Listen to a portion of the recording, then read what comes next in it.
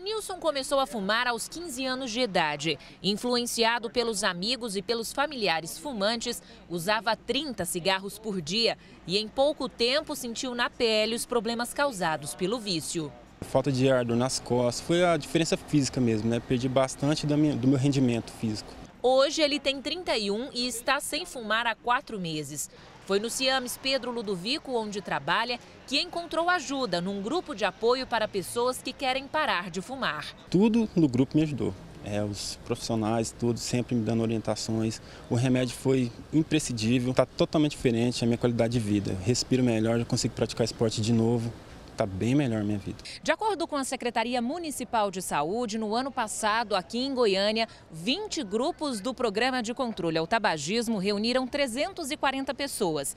230 terminaram o tratamento. 124 deixaram de fumar definitivamente. Para participar do programa, basta deixar o nome e o telefone na recepção do Ciames. O tratamento é feito com um medicamento à base de nicotina, em forma de adesivo e que começa com uma dose maior e vai reduzindo até que o paciente não sinta mais vontade de fumar.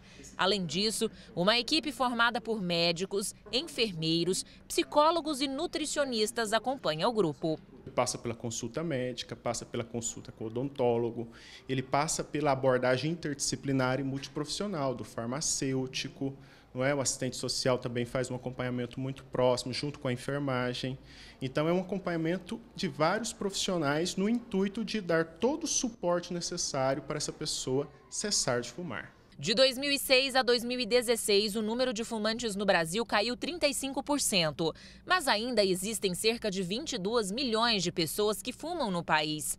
7 milhões de pessoas morrem por ano por causa do uso do cigarro ou simplesmente por estarem expostas à fumaça que ele produz. Homens representam mais da metade das mortes. O programa dura cerca de dois meses. No Ciames Pedro Ludovico acontece depois das seis da tarde para atender pessoas que trabalham durante o dia. Os resultados são sempre positivos. Nós temos muitos relatos nesses 10 anos de pessoas que voltam à unidade, que ganharam qualidade de vida, né?